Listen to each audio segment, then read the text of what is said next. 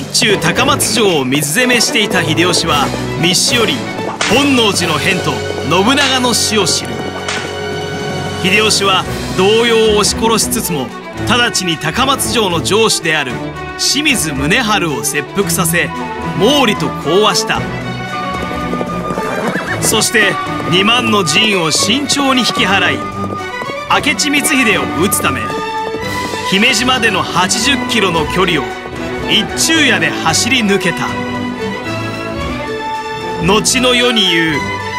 秀吉の中国大返しである。